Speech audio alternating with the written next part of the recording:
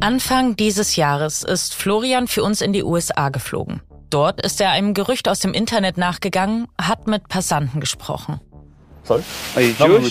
Sind Sie jüdisch? Ich bin ein deutscher Journalist. Ich arbeite gerade an einem Podcast über Antisemitismus und Verschwörungstheorien. Das hier ist ein Ausschnitt aus meiner Recherche in New York. Hey, are you Florian? Yeah. How's it going? I'm Jacob. Hey. Good to see you.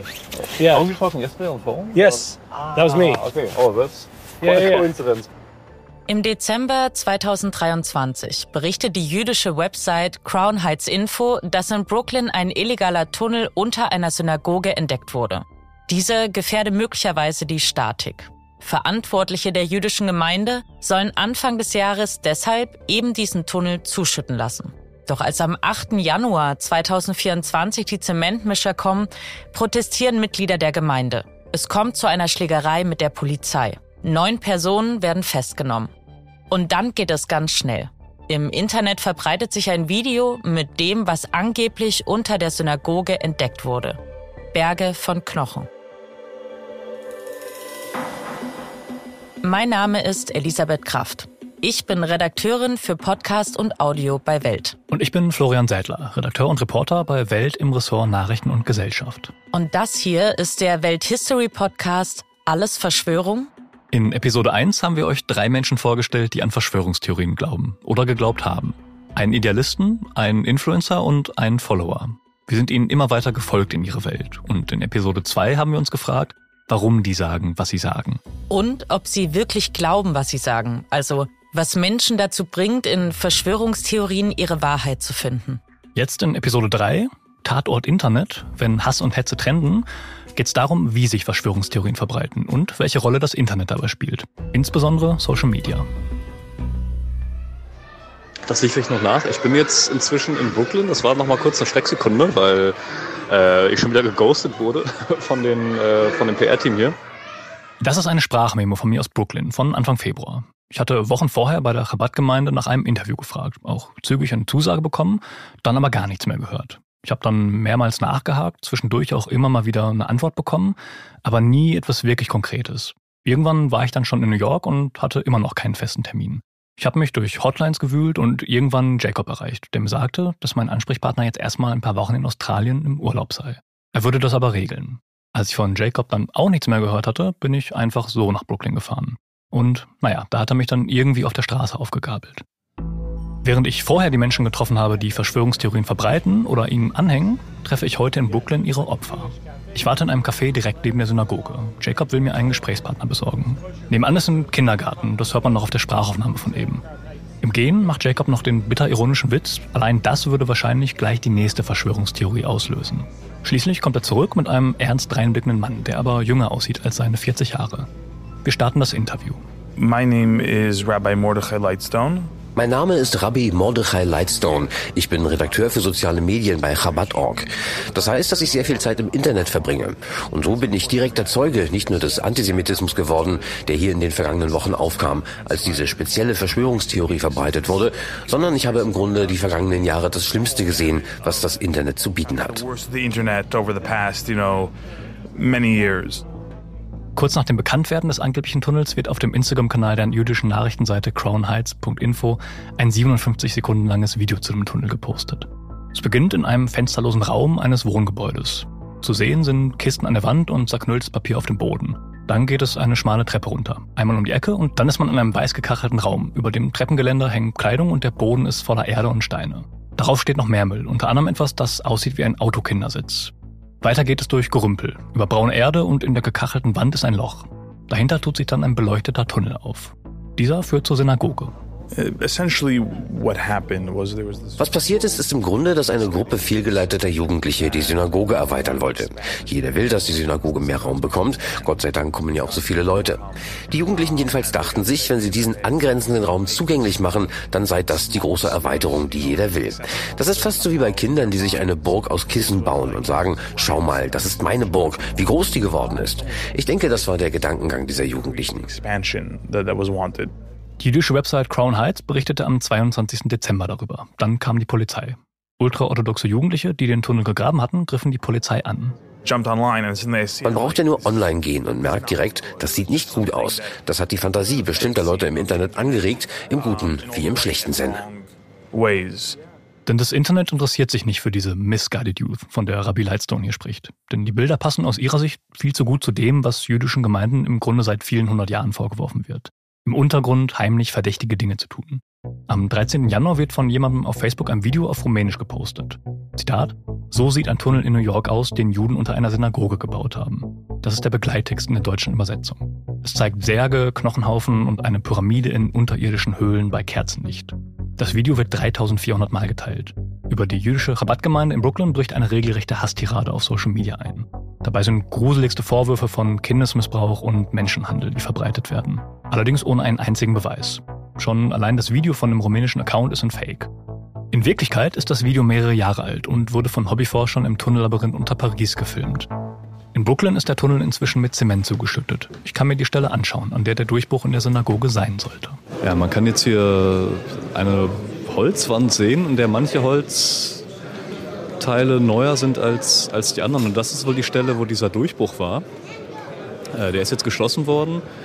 Das ist der Ort, wo, wo dann die Polizei kam und so eine Art Schlägerei ausgebrochen ist und äh, Bänke äh, regelrecht geworfen wurden äh, auf Polizisten, Pfefferspray-Einsatz. Trotzdem geht das Gerücht weiter um die Welt, dass der Tunnel etwas anderes ist als nur eine gefährliche Aktion von jungen Männern, sondern dass dort Gewalttaten gegen Minderjährige passieren. Nochmal, was einfach nur unterstellt ist. Aber das ist in der Verschwörungswelt egal, solange es ins Narrativ passt. Das macht ein Gespräch deutlich, das ich mit dem rechtsextremen Influencer Nick Fuentes ein paar Tage vorher in Chicago geführt habe und in dem ich ihm gefragt habe, ob er von dem Tunnel in Brooklyn gehört hat und wie er die Diskussion darüber einordnet. Ich finde es nur wirklich seltsam. Niemand weiß wirklich, was dort passiert ist. Aber dann spekuliert er doch. Man muss gar nicht zurück bis zu den Protokollen der Weisen gehen. Fuentes bezieht sich hier auf die antisemitischen Protokolle der Weisen von Zion. Das ist ein Pamphlet, das vermutlich zu Beginn des 20. Jahrhunderts entstanden ist, in dem Juden angeblich darüber beraten, wie sie die Weltherrschaft an sich reißen können. Diese Protokolle sind nachweislich gefälscht und von Menschen verfasst worden, die Juden hassen. Trotzdem werden sie immer wieder angeführt, für Anklagen gegen die Juden oder als Rechtfertigung von Gewalt gegen sie. Unter anderem mit ganz aktuellem Bezug von der Terrororganisation Hamas. Es gibt eine Menge Literatur dazu, wie dieser Text tatsächlich entstanden ist. Aber auch hier wieder, Fakten interessieren Menschen nicht, die Verschwörungstheorien verbreiten. Weil das ein ziemlich gutes Beispiel für eine wirklich irrsinnige Verschwörungstheorie ist, die sich trotzdem hält, gehen wir darauf noch einmal genauer in Episode 4 ein. Also bleibt dran. Vielleicht hast du diesen Artikel gelesen, in dem ein chassidischer Rabbi interviewt wird und sagt, dass mindestens 50 Prozent der Jungen in der chassidischen jüdischen Gemeinde von erwachsenen Männern der Gemeinschaft belästigt werden. Das war ein chassidischer Rabbi. Es gibt sogar eine Nichtregierungsorganisation, die die Opfer unterstützt. Diese Dinge gibt es in dieser Gemeinschaft. Dass es Missbrauchsfälle auch in anderen Institutionen wie der katholischen Kirche gibt, das bügelt Fuentes als Scheinargument ab. Er sagt, die Zahlen seien nicht vergleichbar. Und überhaupt würden alle immer über die katholische Kirche herziehen und wenn man Juden kritisiere, dann bekomme man Ärger. Zum Glück gäbe es aber das Internet, denn da könne sich jeder selbst seine Meinung bilden. Das Internet ist die beste Erfindung aller Zeiten. Wenn du intelligent bist und die Wahrheit wissen willst, wenn du neugierig bist, dann treibst du dich im Internet rum. Wenn du ein kluger Mensch bist mit großem Wissensdurst, dann bist du auf Wikipedia. Als elfjähriger Junge schläfst du nachts nicht. Du klickst dich auf Wikipedia von einem Artikel zum nächsten, schaust dir YouTube-Videos an und meiner bescheidenen Meinung nach, wenn du wirklich richtig schlau bist, dann findest du dort die Wahrheit. Du stößt auf die Dinge, die eigentlich tabu sind. Wie so oft sind Dinge, die angeblich tabu sind, in Wirklichkeit gar keine. Zu Missbrauchsfällen in ultraorthodoxen jüdischen Gemeinden hat zum Beispiel die New York Times umfassend berichtet. Für Fuentes gilt trotzdem, das Internet ist sein Tor zur Welt jenseits der etablierten Medien. Uh, die sozialen Medien sind schneller und weniger institutionell als herkömmliche Medien. Sie umgehen diesen Teil. Und das war für mich immer der Reiz. Es ging nie darum, wie ich möglichst viele Leute erreichen kann. Es hat einfach Spaß gemacht. Es ist lustig. Ich treffe auf wirklich lustige, intelligente Menschen. Und das ist das Interessanteste, was es gibt. Warum sollte man überhaupt irgendwas anderes machen? Die sozialen Medien jedenfalls, die nutzt Nick Fuentes ziemlich erfolgreich. Stimmt, dort hat er hunderttausende Follower, und zwar weltweit. Zumindest, wenn man ihn findet. Denn Fuentes muss zwar immer wieder die Plattform wechseln, weil er nach und nach überall gesperrt wird, aber America First, sein Politikstream, wenn man so will, der läuft munter weiter. Und da ist es egal, ob du in Deutschland, Indien oder South Carolina wohnst. Du kannst dir anschauen, was Mr. Nick Fuentes so über die Welt denkt und fühlt. Mit Journalismus hat das aber nichts zu tun. Nee, absolut gar nicht. Aber das Vertrauen in die etablierten Medien ist bei vielen Menschen inzwischen so niedrig, dass offenbar rein Meinung höher geschätzt wird als recherchierte Fakten. Oder beziehungsweise dass kein Unterschied mehr gesehen wird. Laut der Mainzer Langzeitstudie zum Medienvertrauen sagen immerhin 17 Prozent, dass sie den Medien nicht oder eher nicht vertrauen. Und Social Media trägt entscheidend dazu bei, denn dort sind Verschwörungstheorien nur ein Klick entfernt. Früher war das anders, wenngleich das natürlich nicht heißt, dass es besser war. Also vermutlich die älteste Verschwörungstheorie, die man wirklich als eine solche bezeichnen kann, äh, sind die Gerüchte und Erzählungen darüber, dass Christen im Juli 64 nach Christus den großen Stadtbrand von Rom gelegt hätten.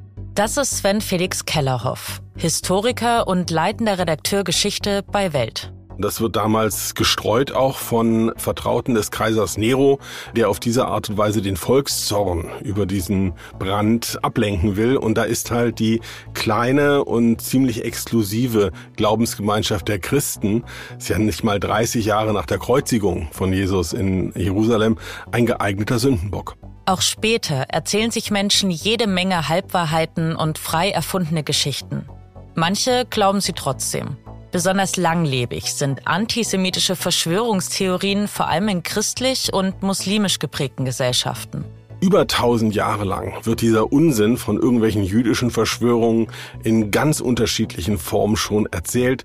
Da sind dann Elemente dabei wie die Christusmörder, wie Ritualmorde, wie Brunnenvergiftung, wie die Verbreitung von Krankheiten. Sehr gerne auch der Versuch, äh, eine jüdische Weltherrschaft, alles in Anführungszeichen natürlich, aufzurichten. Etwas kurzlebiger waren Verschwörungstheorien wie die, dass Illuminaten die französische Revolution verursacht hätten. Frauen mit roten Haaren Hexen oder Kometen himmlische Warnsignale für bevorstehende Katastrophen seien. Was diese Theorien gemeinsam haben. Es geht darum, Angst zu schüren.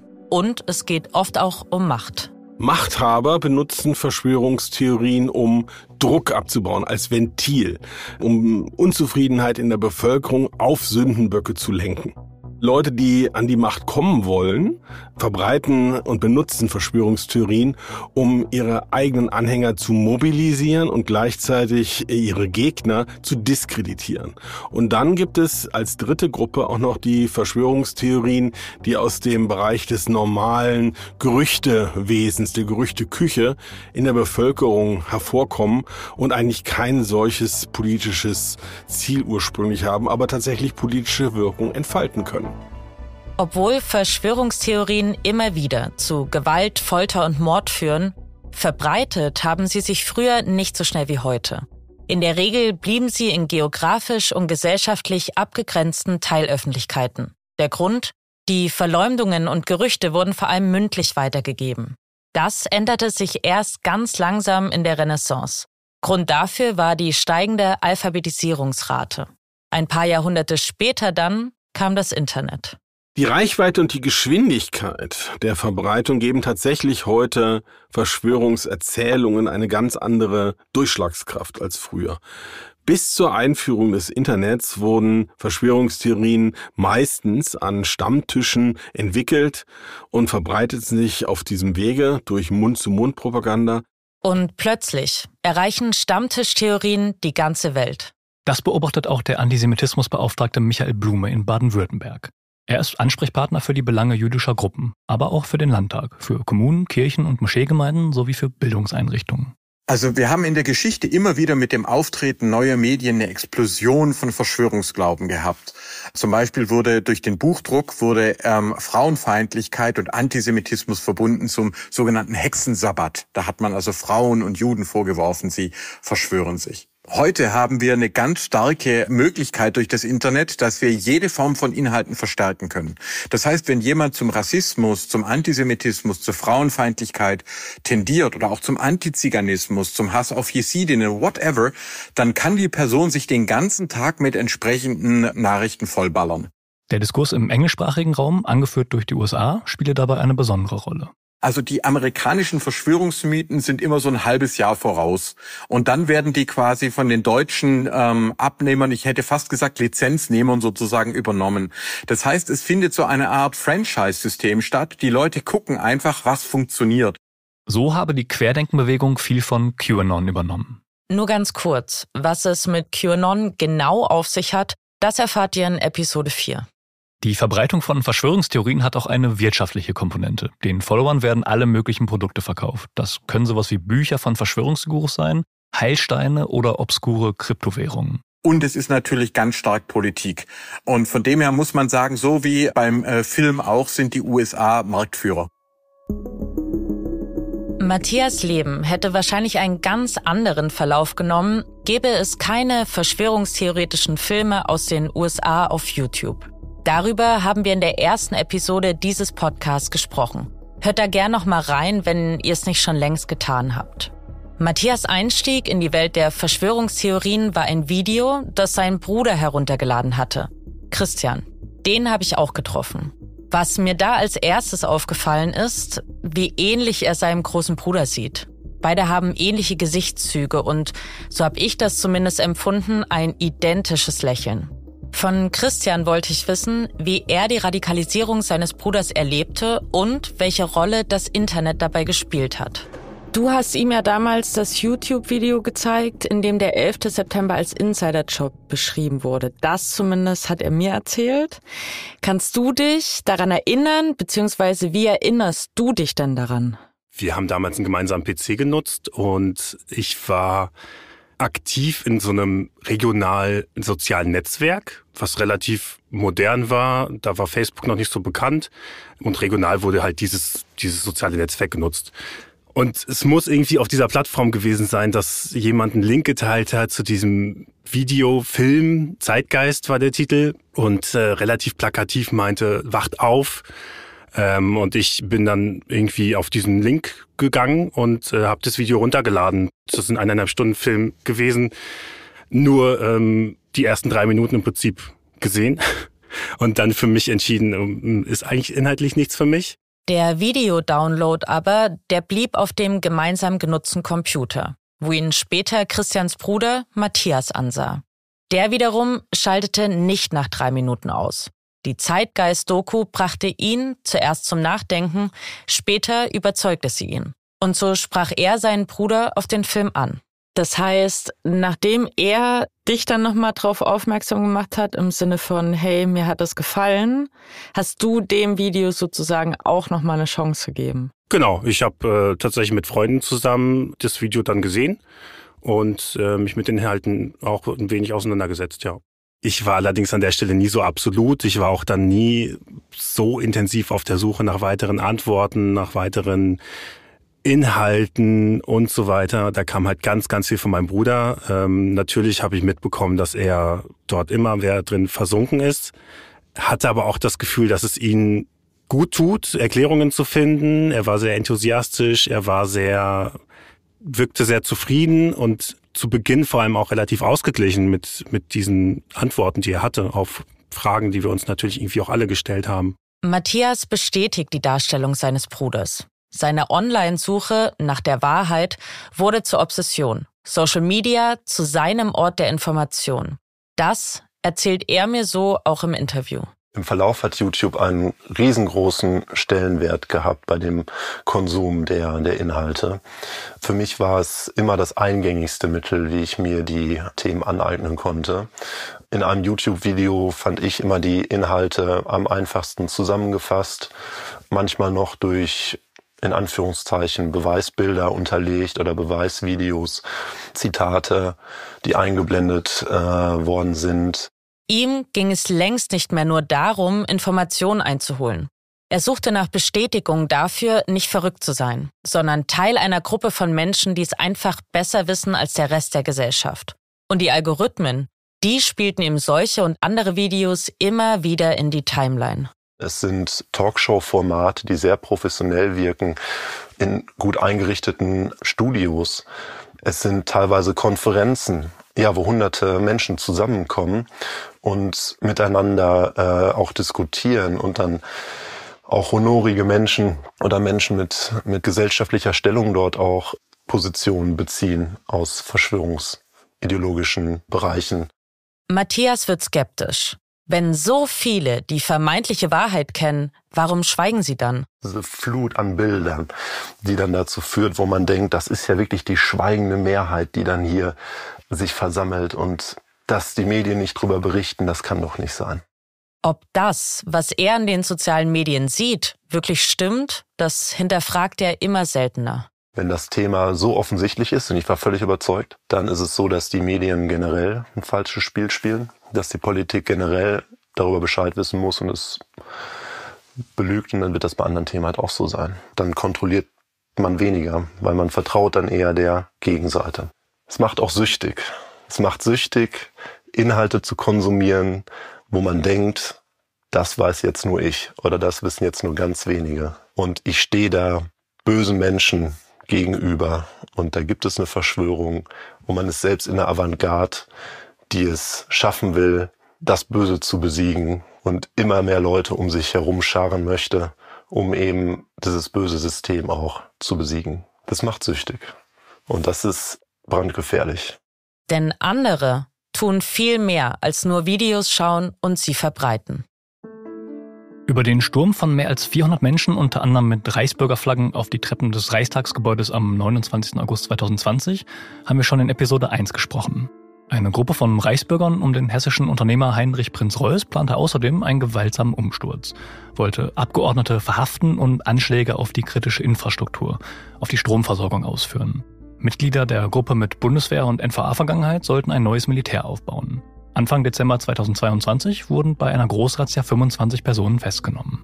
Die Reichsbürger hatten sich vorher im Internet zusammengetan. Die Rede ist hier nicht von irgendwelchen harmlosen Rentnern, wie das manchmal abgetan wird. Richtig. Was diese Reichsbürger genau wollen, das schauen wir uns in der nächsten Episode im Detail an. Aber das schon mal vorweg, dass zum Beispiel diese kleine Gruppe um Heinrich Prinz Reuß tatsächlich eigenhändig die Demokratie hätte abschaffen können, das ist sehr unwahrscheinlich. Trotzdem stellen bewaffnete Radikalisierte natürlich eine immense Gefahr für die öffentliche Sicherheit dar. Einer Studie der CDU-nahen Konrad-Adenauer-Stiftung zufolge nutzen Vollverschwörer nach Selbstauskunft fast ausschließlich das Internet, um sich zu informieren. Als Kanäle werden häufig Telegram, YouTube und Google oder eben das Internet ganz allgemein genannt. Auch Epoch Times, Russia Today, Compact und das Who's Who der bekannten Verschwörungstheoretiker werden namentlich in eben diesen Interviews erwähnt.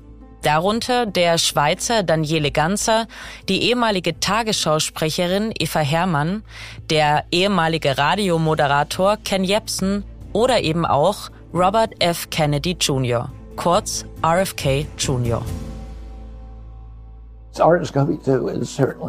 SARS-CoV-2 ist mit Sicherheit ein Produkt der Biowaffenforschung. Wir haben eine ziemlich genaue Vorstellung davon, warum und wie es entkommen ist und welche Personen infiziert wurden.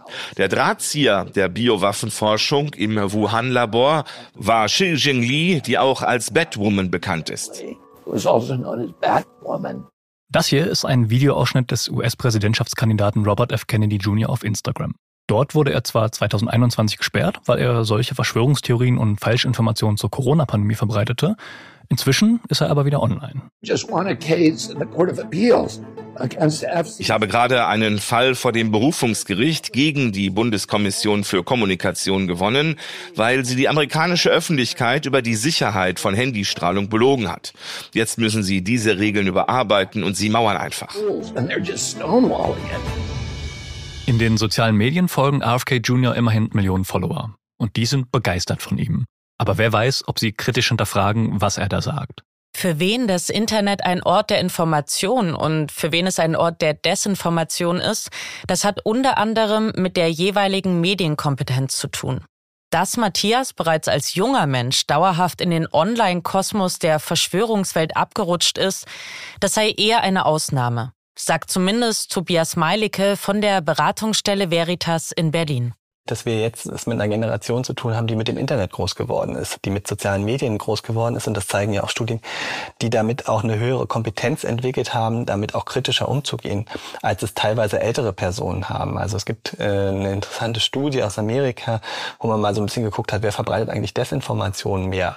Ähm, so Und dabei kam dann auch raus, dass Personen, sage ich mal, über 60 fünfmal häufiger Desinformationen verbreiten als unter 20, weil sie nämlich in einer ganz anderen Zeit groß geworden sind, in der es, sage ich mal, eher nur die klassischen Medien Medien gab, Zeitungen, Fernsehen und so weiter, denen man natürlich getraut hat. Ostdeutsche, zu denen übrigens auch ich zähle, würden hier eher eine Art Sonderfall bilden. Grund dafür ist, dass sie oft einen kritischeren Medienumgang hätten. In Ostdeutschland kommt zum Beispiel auch noch hinzu, dass, glaube ich, alternative Medien eher als das gute Medium anerkannt werden. Ähm, so und das hat auch was mit der Sozialisationsgeschichte zu tun dieser Menschen.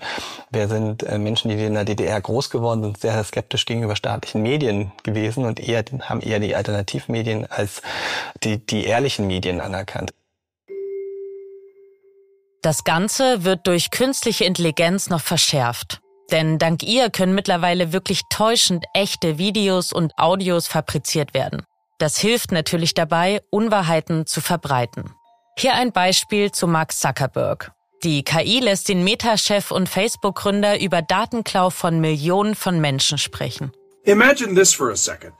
One man with total control of billions of people's stolen data naja, das Bild ist so ein bisschen unscharf, die Stimme leicht verzerrt, die Mundbewegungen sind jetzt auch nicht 100% synchron. Aber den Unterschied hört und sieht man dann im nächsten Abschnitt des Videos. I wish I could tell you that we're going to be able to stop all interference. Und da gibt es wirklich noch ganz andere Beispiele. Hier zum Beispiel ein sogenanntes Deepfake von Hillary Clinton. Also ein mit KI manipuliertes Video und Audio. Darin sagt sie, dass sie Ron DeSantis möge. Der ist Gouverneur von Florida und ein ultrakonservativer unter den Republikanern. You know, people might be surprised to hear me say this, but I actually like Ron DeSantis. Hier klingt die Stimme ziemlich klar und das Bild sieht auch echt aus. Da stimme ich dir total zu. Also auf den ersten Blick ist das wirklich unmöglich zu sagen, ob das jetzt echt ist oder nicht. Und falls ihr euch die Deepfakes mal genauer anschauen wollt, den Link, den stellen wir euch in die Show Notes. Jakob Guhl, Experte für Rechtsextremismus und Verschwörungstheorien beim Institute for Strategic Dialogue in London, meint, die Deepfake-Probleme beginnen jetzt erst. In der ganzen Bucht, glaube ich, steht es uns definitiv noch bevor. Es gibt wie fast immer bei neuen technologischen Entwicklungen großes Interesse daran. Also auch jetzt gerade, wenn man sich anguckt, wie mit den neuesten Prototypen, die ausprobiert werden, wie hochqualitativ da AI-Tools beispielsweise Videomaterial erstellen können. Das sehen die natürlich schon als etwas, was auch möglicherweise für die eigene Propaganda äh, und für die Verbreitung eigener Falschinformationen ganz spannend sein könnte. Sie ermöglicht Menschen, sich sprichwörtlich nicht nur im Keller zu radikalisieren, sondern das auch bei anderen zu tun. Strategisch, kriminell und sehr effektiv mit der neuesten Technologie. Wer nicht kritisch hinsieht und nochmal nachrecherchiert, der glaubt das leicht. Ja, weil es eben auch immer irgendwie eine Verbindung zur Realität gibt. Wie bei dem Tunnel in Brooklyn unter der Synagoge. Da gibt's den Tunnel. Nicht mehr und nicht weniger. Uh, der Grund, warum das durch die Decke gegangen ist, ist der Krieg in Nahost und das Wort Tunnel. Hier spreche ich wieder mit einem Passanten vor der Synagoge in Brooklyn bei der Recherche in der Rabattgemeinde. As soon as that happened, that was als das passierte, wussten wir sofort, was folgen würde. Ich meine, ich bin Jude und das ist einfach das Leben eines Juden. Jedes Mal, wenn jemand eine Geschichte über uns in die Welt setzen kann, wird er das machen. Das passiert wirklich jedes Mal. Sie stürzen sich darauf. It's gonna happen. They're gonna run for it. We're very, very careful about wir sind sehr, sehr vorsichtig mit dem, was wir in der Öffentlichkeit tun, weil wir wissen, dass die Leute jede Geschichte nutzen werden, die sich gegen Juden richtet, um uns damit zu verleumden. Das ist ein Teil des Jüdischseins, ein Teil der jüdischen Geschichte. Um Verleumdungen gar nicht erst aufkommen zu lassen, musst du besonders vorsichtig sein, denn es gibt Dinge, mit denen normale Menschen zwar davonkommen, wir aber nicht. Things that normal people can get away with, but uh, we can't. Auf die lange Geschichte von Antisemitismus und Verschwörungstheorien, da gehen wir in unserer nächsten Folge nochmal genauer drauf ein. Also bleibt unbedingt dran. Das, was uns der Passant gerade erzählt hat, das ist Antisemitismus kombiniert mit Falschinformationen. Bei dieser Geschichte stimmt nur, es gab einen Tunnel, der von einer Gruppe radikaler Orthodoxer gebaut wurde, um die Synagoge zu erweitern. Und zwar ohne das Wissen der Gemeinde und des Rabbis, der den Tunnelbau auch klar verurteilte und sich von den Ansichten der Täter distanzierte. Alles andere ist erfunden, um Hass gegen unschuldige Menschen zu schüren. In diesem Fall Menschen, die jüdischen Glaubens sind. Aber wie ist das bei anderen Theorien? Zum Beispiel QAnon oder der Reichsbürgerideologie. Das schauen wir uns in der nächsten Episode unseres Podcasts an. In Episode 4. Dunkle Mächte und geheime Eliten. Wem können wir glauben? Wir wollen wissen, was haben die QAnon und Reichsbürgerbewegung gemeinsam? Was unterscheidet sie? Und wie gefährlich sind ihre Anhängerinnen und Anhänger wirklich? Während des Abiturs bin ich dann auf ein weiteres Thema gestoßen über das Internet, von dem ich vorher noch nie gehört hatte. Und das war das Thema, was man heute als Reichsbürgerideologie kennt. Die äh, Verschwörungserzählung, dass das Deutsche Reich äh, heute nach wie vor bestehen würde und dass die Bundesrepublik in ihrer Gründung quasi eine äh, GmbH sein soll. Wir schreiben heute hier in Berlin Weltgeschichte. Guckt euch um. Deutschland eine GmbH. Was ist dran? Also haben manche Verschwörungsmythen am Ende doch einen wahren Kern? Und was unterscheidet echte Verschwörungen überhaupt von Verschwörungserzählungen? Man schaut immer wieder in den Himmel und macht sich Gedanken, sind diese Wolken tatsächlich gesprüht worden? Sind diese Kondensstreifen von Flugzeugen wirklich aktiv dorthin gesprüht worden, um etwas anzurichten? Das ist so, als ob man äh, bei strahlendem Sonnenschein im Juli bei 30 Grad äh, Lufttemperatur im Schatten herausgeht und sagt, es ist aber furchtbar kalt und regnet. Ich hatte niemandem was davon erzählt. Das spielte sich gedanklich in meinem Kopf ab. Das war der Welthistory Podcast Alles Verschwörung, Folge 3. Tatort Internet, wenn Hass und Hetze trennten. Recherche Welt. Elisabeth Kraft und Florian Sedler. Redaktion Welt. Antonia Beckermann, Sonja Gillert und Elisabeth Kraft. Mitarbeit Welt. Imke Rabiga, Christine Rodriguez und Juliane Schneider. Autorin Anna Loll. Produktion DPA Anne Krüger. Produktionsassistenz DPA Jessica Lichetzky und Jonathan Penschek. Executive Producer DPA David Krause. Ein besonderer Dank geht an Stefanie Bolzen, Alexander Dinger, Sven Felix Kellerhoff, Lennart Pfahler und das Audioteam der DPA.